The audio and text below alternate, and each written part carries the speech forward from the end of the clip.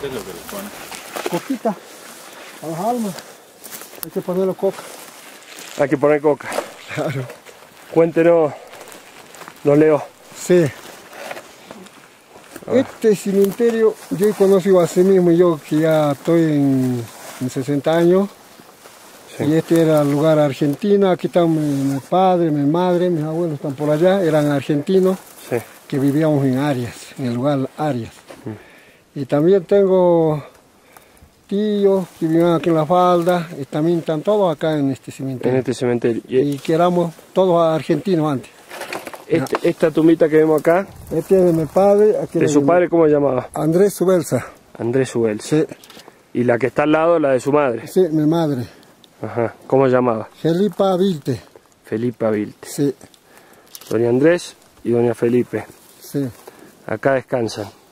sí. Bien, y, y curiosamente todo este cementerio quedó en, en territorio boliviano. Ahora sí en territorio boliviano. Mm.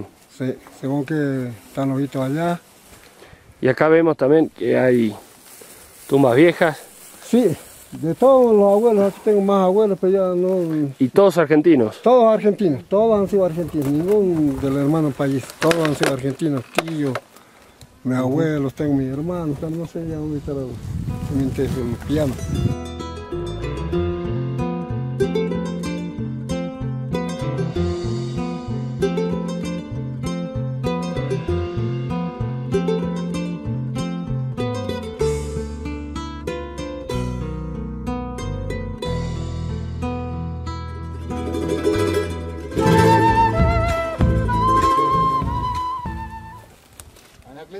De usted. Mi tío, ahí está. Anacleto Subelsa, Rosa Subelsa, Rosa Mamani, ahí son los dos también. Ajá. Sí.